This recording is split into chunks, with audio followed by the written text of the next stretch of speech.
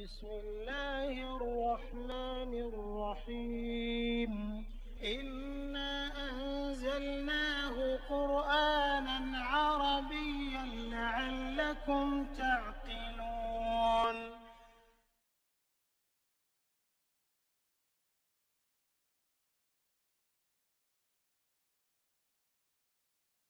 Bismillahirrahmanirrahim. Alhamdulillahirabbil alamin. Wassalatu wassalamu ala asyrafil anbiya wal mursalin wa ala alihi wa sahbihi ajma'in. Rabbi shrah li sadri wa yassir li amri wa hlul 'uqdatam min lisani yafqahu qawli. Assalamualaikum warahmatullahi wabarakatuh.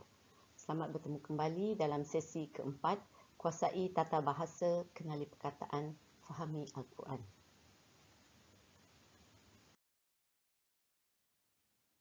Dalam sesi ini, kita akan mengenali jenis kata nama. Ya, dan satu daripadanya mengenai kata nama penunjuk atau isim syarah.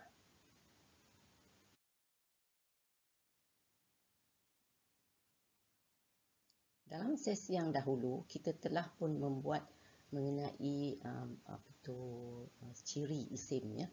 So, semasa kita membuat ciri-ciri ciri isim tu, kita telah melihat sebenarnya isim itu adalah isim mu'rab ya. Sebab kita bila kita lihat terdapat pertukaran uh, sepenuhnya di, di hujung perkataan. Itu apabila dia subjek dia berkedudukan marfu.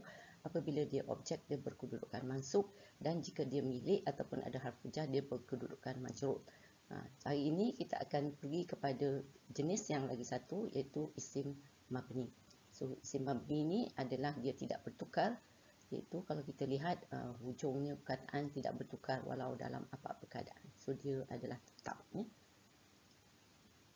So, dan jenis yang ketiga adalah um, manuk minasaraf atau ghairu munsarif ni.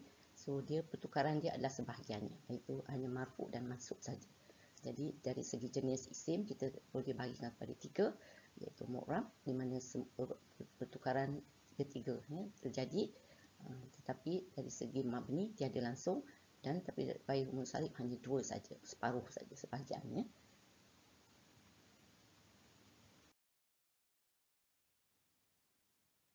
Sewaktu kita membuat ciri uh, isim dahulu, kita melihat uh, isim mu'raf ni terdiri daripada isim mufrad, isim musanna, isim jamak muzakkar salim, isim jamak muannas salim dan usul isim jamak taksir. Ya, so, tapi ada lagi satu iaitu isim lima atau asma'ul khamsah. Ini kita belum buat, kita akan buat kemudian. Ya. Tapi hari ini kita akan uh, melihat kepada isim mabni. Iaitu isim mabni terdiri daripada isim isyarah, isim mausul, isim makan, isim zaman, damir dan lain-lain. Ya. Untuk untuk air umi sarif ni pula, kita ada uh, dari segi kata nama, dari segi kata sifat dan lain-lain. Uh, ini kita akan kaji satu persatu selepas ini.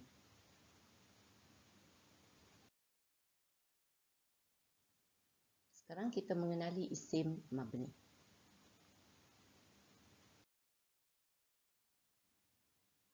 Apakah yang perkataan yang kita sebut sebagai isim mabni? Itu perkataan yang tetap sama walau diguna dalam keadaan yang berbeza dikatakan mabni kerana tidak bertukar pada hujung perkataan walau dalam apa-apa keadaan. Itu tidak ada perubahan baris, huruf akhir dan tidak ada perubahan huruf dalam perkataan. Semasa kita buat uh, isim jamak uh, salim, jamak mu'anas, uh, salim, jamak uzakar salim, kita tak lihat kan.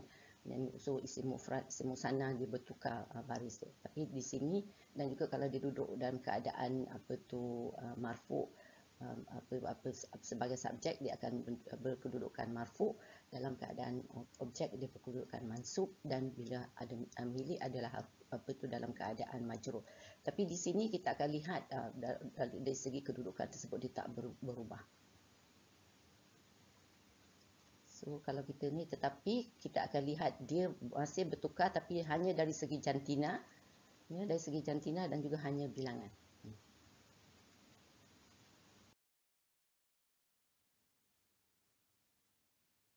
So kita lihat dah apa tu dari segi uh, isim mabni ni dari segi jenisnya iaitu kalau apa tu semua isim isyarah semua isim mausul tetapi ha, untuk isim makan dan isim zaman ni hanya sebahagian saja sebab sebahagian daripadanya adalah isim mu'rab sebab dia bertukar Ya, dia boleh bertukar bila berjumpa harf hujar tu dia akan jadi baris bawah. Ha, itu maksudnya bila dia bertukar ya.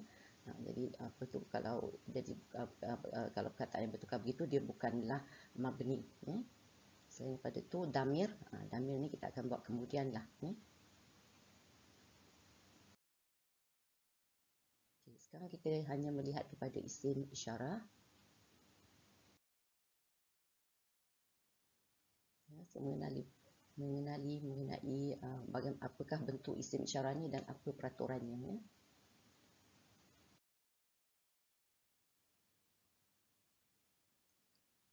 Kata nama penunjuk ni atau isyarah digunakan untuk menunjukkan kepada satu sesuatu uh, benda atau perkara atau orang ya. So dari segi dia bertukar dari segi jarak atau dekat dekat atau jauh. Ya. So kalau kita lihat Ha, isim isyarah lil qarib ataupun dekat dari segi dekat ha, makna ini tunjuk ini untuk muzakkar haza untuk muannas hazihi so perkataan dia berbeza ya. Makna ini atau in, english dia this lah. Ya so untuk yang jauh ni kita lihat dia semua isyarah lil ba'id ya untuk muzakkar dia zalika. Untuk muannas dia tilka. Maknanya itu atau that Ya, so kalau bahasa Malaysia ini dan itu satu je sama ada lelaki atau wanita sama je. Tapi untuk bahasa Arab ni dia berbeza. English pun sama ke this saja atau that. Ya, dia tak ada perbezaan, dia tak differentiate antara untuk lelaki dan wanita. Tapi untuk bahasa Arab ni dia bertukar.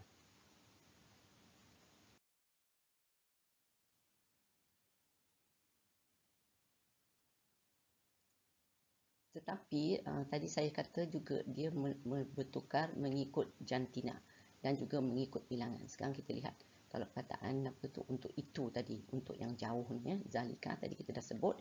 So untuk satu. Tapi kalau untuk dua dia jadi zanika dan zainika untuk akuasatif dan genitif. Zanika ni untuk nominatif ya. Tapi untuk lebih dari dari apa tu dua banyak ni ulaika dia balik-balik apa tu mabni lah. So, perkataan zalika dengan ulaika ada mabni. Jadi untuk perkataan dua ni saja, ya, dua saja yang dia adalah apa tu dia bertukar, ya, bertukar pada apa tu dari segi perkataan. Jadi zanika tadi dia jadi zainika. Ya, so itu juga untuk perempuan kalau daripada untuk satu tilka, tapi untuk dua dia jadi tanika dan tainika. Ha, untuk apa kedudukan normatif dan juga untuk akuasatif dan genitif. So hanya untuk uh, dua ya bilangan dua saja yang ada pertukaran. Tapi bila dah apa tu uh, lebih dari dua, uh, tiga dan lebih ulaika. So ulaika ulaika sama antara muzakkar dan muannas dia sama. Ha, jadi kalau kita nak tahu sama ada perkataan yang ditunjuk tu adalah untuk lelaki atau wanita, jadi kita tengok apa dia subjek yang ditunjukkan tu lah. Ya, ataupun objek yang ditunjukkan tu. Jadi kita uh, baru dapat tahu. Hmm. Dan selain daripada itu, kita lihat pula dari segi uh, apa tu yang dekat ni untuk menunjukkan ini. Ya. So, kataan haza tadi, uh, serupa juga untuk lelaki haza, untuk wanita hazihi tadi. Ya. Tapi kalau untuk dua, haza lelaki tadi, dia bertukar jadi haza ni untuk normatif dan haza ini untuk akusatif dan genitif. Uh, tapi untuk tiga dan lebih, haulai. Ya. Uh, so, untuk wanita, dia juga hazihi tadi, untuk dua jadi hatana dan juga hataini untuk akuasatif dan genitif. So konsep dia sama. Ini untuk yang apa tu jauh dan apa tu uh, uh, lil ba'id atau lil qarib dekat ni uh, dia apa tu untuk dua ni saja. Dua muzakkar dan dua muannas uh, dia bertukar. Yang lain ni semua dia adalah mabni. Nanti kita tengok ayat-ayat Al-Quran bagaimana contoh dia ya. Dan untuk uh, muannas ni untuk ramai haula'i lah. Uh, dia pun sama haula'i haula'i. Dia seperti juga ulaika tadi ya, konsep.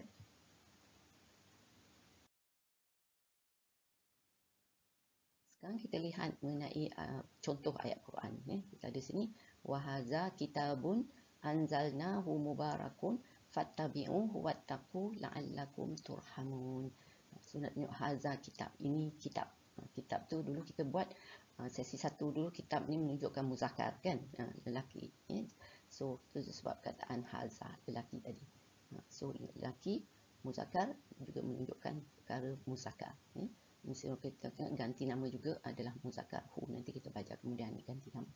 So apa tu jadi haza kitabun maknanya dan ini sebuah kitab iaitu al-Quran yang kami turunkan yang ada berkatnya, banyak manfaatnya. Oleh itu hendaklah kamu menurutnya dan bertakwalah kepada Allah. Mudah-mudahan kamu beroleh rahmat. So itu untuk sekarang kita pergi untuk dua. Kalau untuk muzakar musanna, ni so kataan dia hazani tadi kan. Ni hazani, hasmani, ni tasamu fi rabbihim. Sini kita tengok hasmani ni pun maknanya dua gulungan alif nun kan tambah alif nun tambah alif nun. Jadi konsisten masa kita belajar sesi satu dulu ya. Inilah dua gulungan mukmin dan kafir yang berbantah-bantah tentang Tuhan mereka.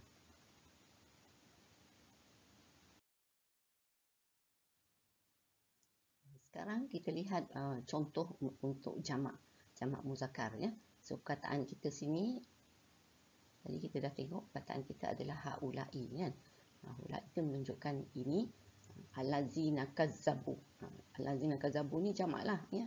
Kazzabu ni ada waw alif ni ujung ni kan. Alazina pun untuk ramai. So alazina kazzabu orang yang membuat dusta ha, ala rabbihim terhadap Tuhan mereka ya. So haula illazi nakazzabu ala rabbihim. Hmm, so ini menunjukkan haula'i.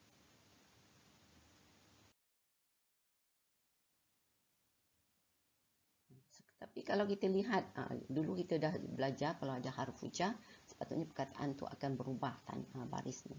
Ya? Ah, tapi kalau kita tengok ayat ni, dia tak berubah. Alhamdulillahillazi hadana lihaza. Eh, lihaza. Dia tak jadi lihazi. Ha, ini untuk mufrad muzakkar lah. So kita tengok dia apa tu tu yang dikatakan mabni tu dia tak bertukar. So segala puji tertentu bagi Allah yang telah memberi hidayah petunjuk untuk mendapat nikmat-nikmat ini. Ha, hazar tu maknanya ini ya.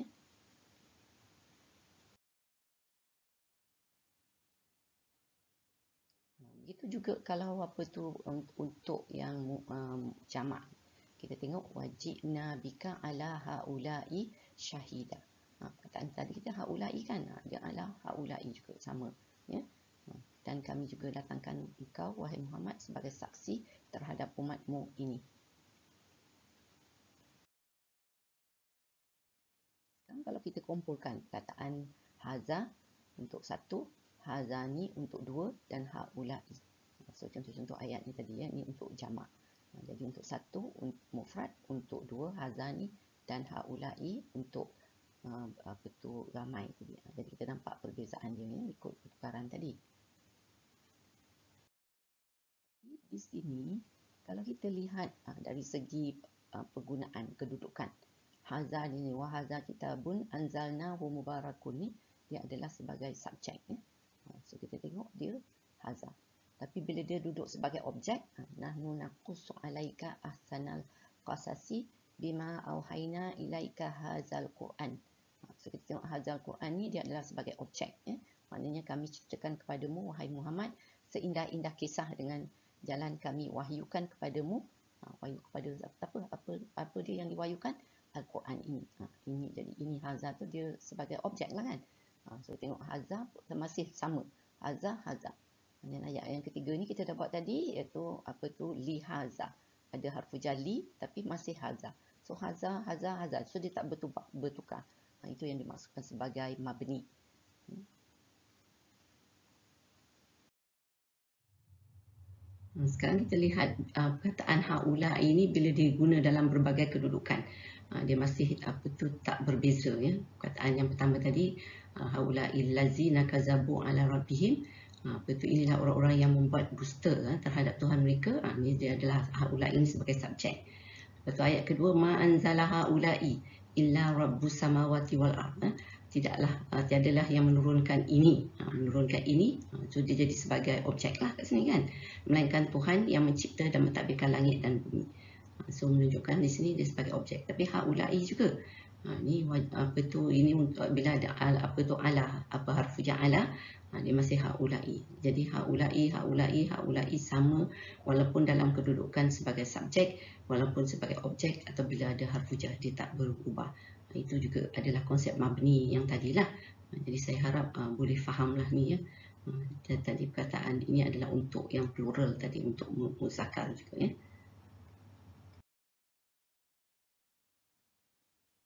Sekarang kita lihat uh, uh, contoh untuk mu'anas perempuan. Uh, ya, waya qaumi hazihi na naqatullah. Uh, so this one apa tu hazihi wanita um, female menunjukkan naqatu tu sebab unta betina ni. Uh, dia pun ada tamar butah situ. Ini menunjukkan perkataan mu'anas. So maknanya dan wahai kaumku ini adalah unta betina dari Allah. So dia mu'anas tu sebab dia gunakan kata isyarat nak tunjuk dia pun mu'anas. So hazihi.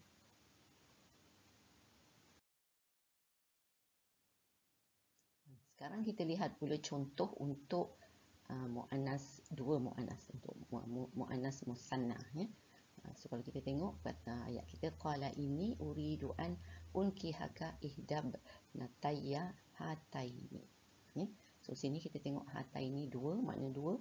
Dan ini pun uh, apa tu anak perempuan dua, dua anak perempuan. So makna sini bapa perempuan itu berkata kepada Musa, ni Nabi Shu'aib lah berkata kepada Nabi Musa, eh, aku hendak mengawinkanmu dengan salah seorang dari dua anak perempuanku ini.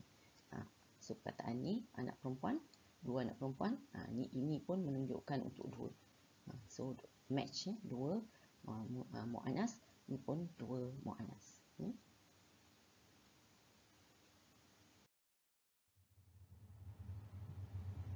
Sekarang kita lihat contoh ayat mengenai perkataan haula'i. Ya. So, qala ya qaumi haula'i banati hunna atharu lakum. Ya, so sini kita dapati perkataan ini adalah uh, uh, plural sebab banati ni, banati anak-anak kan maknanya wahai kaumku di sini ada anak-anak perempuanku, banati. Ya mereka lebih suci bagi kamu. Sebab dia perkataan haulai plural sebab ni uh, untuk wan uh, betul muannas eh manati ni anak-anak perempuan. Jadi haulai ini adalah apa tu jamak uh, untuk perkataan isim isyarah uh, dekat bagi muannas uh, manati ya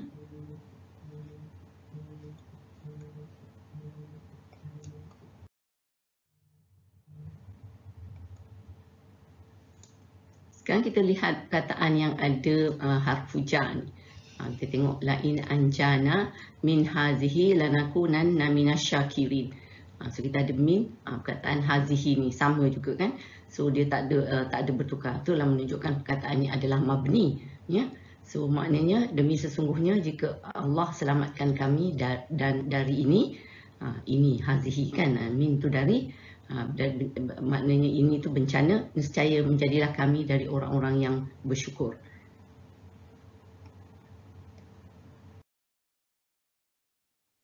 Ini bila saya kumpulkan menunjukkan bilangan satu hazihi ha, bilangan dua hata ini tadi dengan haulai so contoh-contoh ayat ini menunjukkan perbezaan. Ini kata penunjuk sebab dia menunjuk pada perkara yang ha, match dengan dia lah. Kalau ni untuk plural Ini untuk dual atau dua dan ini untuk singular atau satu. Ya. Tapi di sini kalau kita lihat penggunaan dari segi apa tu sebagai subjek, ha, waya kaumi hazihi nakatullah tu sebagai subjek tadi, so kita tengok hazihi. Tapi bila dia sebagai objek, ha, wala taqraba hazihi sajarata fatakuna minaz zalimin. Ha, kita buat ayat ni dan janganlah kamu hampiri pokok ini ya, maka akan jadilah kamu dari golongan orang-orang yang zalim. Ini Nabi Adam lah dengan tu ya. So hazihi sajarat ni hazihi uh, mu'anas. Sebab sajarah ni pun pun mu'anas. Sebab ada tamar butah sini kan pokok ni uh, so ni kita baca sisi satu, dulu.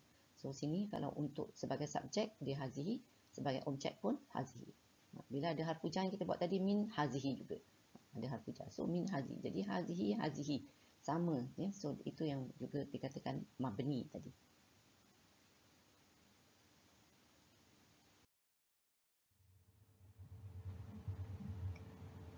Ha, sekarang kita lihat contoh kataan zalika. So zalikal fadlu minallah. Ha, ini adalah untuk muzakkar mufrad ha, kataan zalika ni. Sebab dia al fadlu ni adalah kataan um, uh, muzakkar itu sebab kita gunakan untuk uh, dia muzakkar uh, mufrad satu ya apa tu uh, tinggal lagi dia uh, ni isim makrifah lah sebab ada alif lam ya. Uh, jadi perkataan untuk menunjukkan itu tu itu tu uh, zalika muzakkar uh, itu mufrad singular ya. So maknanya yang demikian itu kurnia dari Allah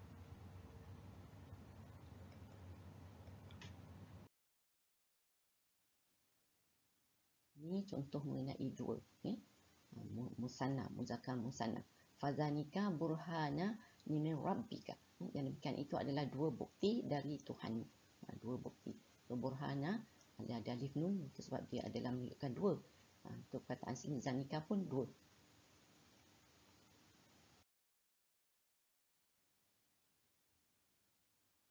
Ini contoh mengenai uh, muzakkar jamak ya.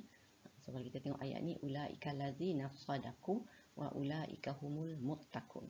Ha, ini sadaku ada waw alif, ini muttaqun ada waw nun. Ha, so ini menunjukkan alazina. Ini menunjukkan uh, untuk plural. Uh, ya, so terpakai menggunakan ulaika ni sebab tu plural ya. Uh, so maknanya mereka itu orang-orang yang benar.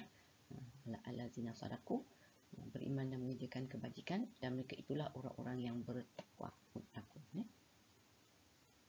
So perkataan humul ulaika humul muttaqun dan ulaika humul muflihun. Ini memang banyak ulaika humul hasirun, ulaika humul apa muslimun, ulaika humul kafirun. So banyak itu semua menunjukkan adalah apa tu untuk um, jamak ya. So kalau kita tengok sini dan maknanya adalah dan mereka itulah orang-orang yang percaya. Ya, so memang banyak dalam Al-Quran perkataan kita jumpa nanti.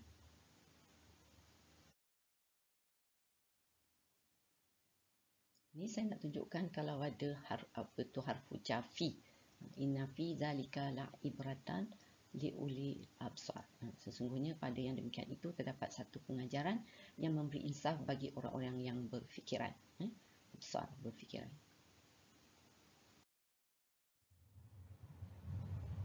Sekarang kalau kita saya kumpulkan semua perkataan yang bertukar uh, mengikut uh, apa tu bilangan eh perkataan zalikal fadlu minallah ni tadi and then satu singular untuk lelaki muzakkar and then zanika zanika burhana burhana tadi ya yeah, so kita dah buat ni and then ulaika ni menunjukkan apa tu dia bertukar mengikut bilangan zalika zanika dan ulaika untuk plural ya yeah, zanika untuk dua atau dua ya yeah.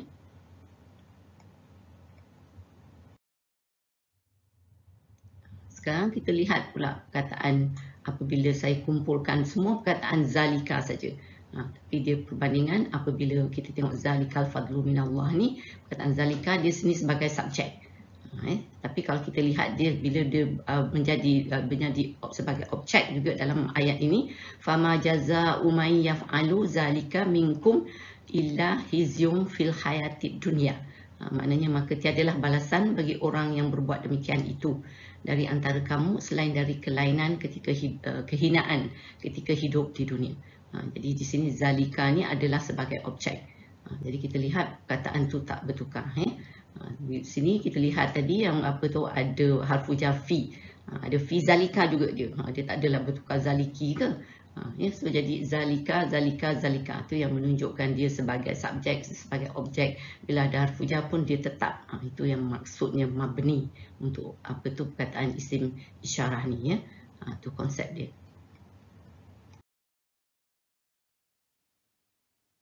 Sekarang kita bergalih kepada untuk wanita mu'anas ya. So mufrad mu'anas perkataan tilka.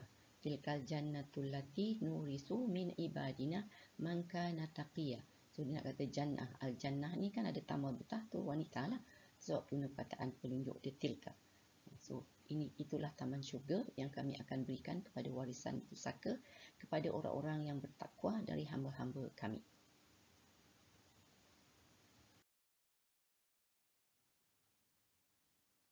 Tetapi kita lihat juga konsep jamak taksir. Jamak taksir jamak ni ramai lah kan. Tapi jamak taksir gayu gayu akil Ha, kita tengok dia masih menggunakan tilka dia. Wa tilkal qura ahlaknahum lamma zalamu. So perkataan qura ni kan jamak kan daripada qaryah. Qaryatun, qaryatun kan uh, satu uh, mufrad. So qura ni menunjukkan dia adalah jamak taksir. Ha, tapi bila jamak taksir ghairu akil iaitu dia tak ada berakal. Dia konsep dia adalah dia jatuh jadi mufrad musan uh, muannas. Ha, jadi itu pakai tilka. So makna kata ayat ni dan penduduk negeri-negeri yang derhaka itu kami telah binasakan ketika mereka melakukan kezaliman. Ya, so uh, itu penggunaan dia.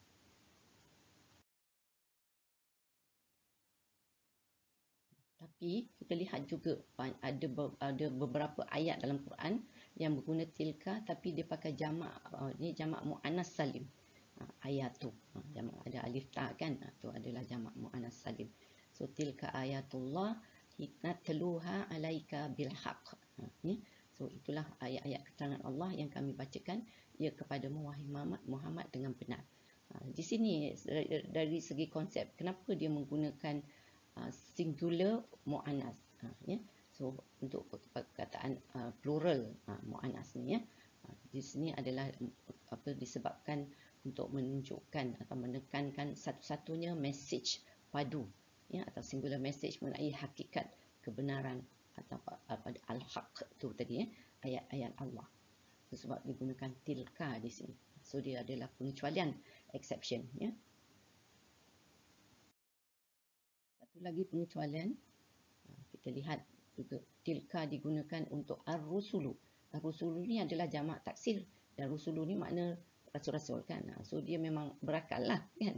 Ha, tapi dia pakai tilka. Tilka rusulu faddalna ba'dahum ala ba'dim minhum. Ha, di sini sebab apa digunakan tu? Sebab adalah untuk menekankan satu-satunya message padu atau singular aspect yang setiap rasul diberi tugas tertentu dan setiap mereka dianugerah makam tersendiri ya tu mak maksud ayat ni kadang-kadang Allah menggunakan uh, perkataan setengah perkataan untuk menyampaikan sesuatu message yang penting kalau kita lihat ayat ni uh, penterjemahannya adalah rasul-rasul itu kami lebihkan sebahagian dari mereka atas sebahagian yang lain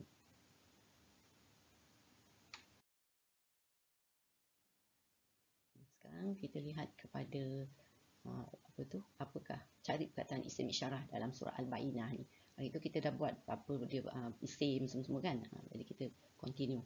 So kita lihat apa dia. Okay, kita ada empat di sini iaitu zalika sini. Ini kita ada ulaika dan kita ada ulaika lagi dan ada zalika. Yeah.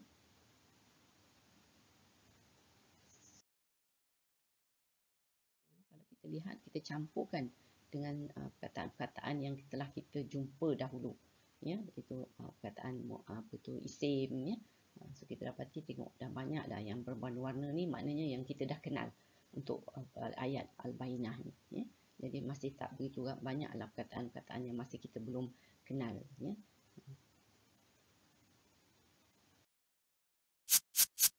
perbenaran kata kita hari ini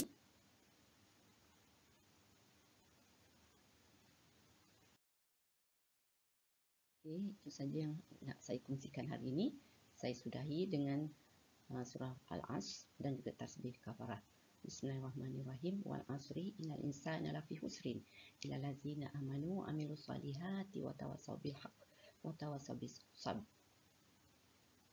Subhanakallahumma wa bihamdika asyhadu an la ilaha illa anta astaghfiruka wa atubu ilaik.